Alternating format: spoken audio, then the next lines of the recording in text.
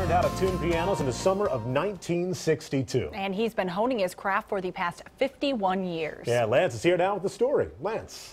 Thanks, guys.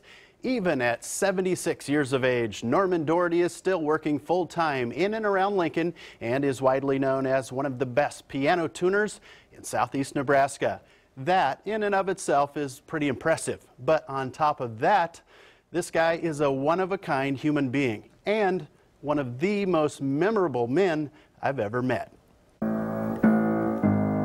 Yeah, piano tuning can be a high strung job. At first, Norman Dority grabs your attention with his wry sense of humor. If I get tired of piano tuning, I think I'll take up psychiatry so I can still work with tension. Then he impresses you with his tuning knowledge. I'm on an F right now. You could say he has a great ear, and he needs it because he's tuned hundreds of pianos over the past half century without the gift of sight.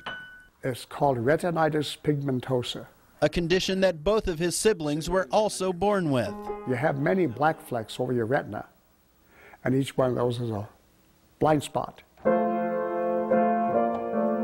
Norman attended the Nebraska School for the Blind in Nebraska City. I began taking piano lessons. Many years later, Norman was at a seminary studying to be a pastor when he learned how to tune pianos. It's kind of fun. And there's a satisfaction in having something work better when you finish than when you started. Two flats on a piano are okay, but two flats on a car are terrible. Norman lives by himself, and over the past five decades, he's ridden many buses and walked who knows how many miles, making house call after house call. I can cross Oak Street here and get out in the middle of 13th Street by accident, and people enjoy pointing me to the curb, so they, they, they like to tell me where to go. Norman was married for 37 years and had four kids with normal vision. I'm 16 years a widower now. And my younger son says one time mom had a blind date and look what happened to her. Keith Heckman of Dietz Music House has been subcontracting Norman for 40 years. First thing you should know is that he doesn't have a challenge. You and I have the challenge. We can see. He, he thinks we're challenged.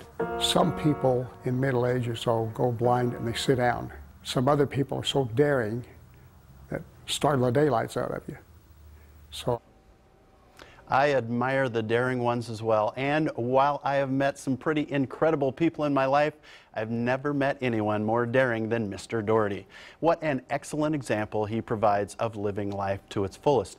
And check this out. Back in the 1970s, Norman did some of his best work right in this very studio as he tuned the mm -hmm. cartoon chorale piano for Calamity Kate and Silent Orv. Some great memories there. Who knew? What an oh, impressive Fantastic. guy. Oh, amazing man, and he is still working hard. And if you'd like to get your piano tuned, he'd love to come out and see you. It's back in Wisconsin. That might be a problem. Okay. Well, thanks. he makes road trips. All right, thanks, Leah. we'll update your forecast next.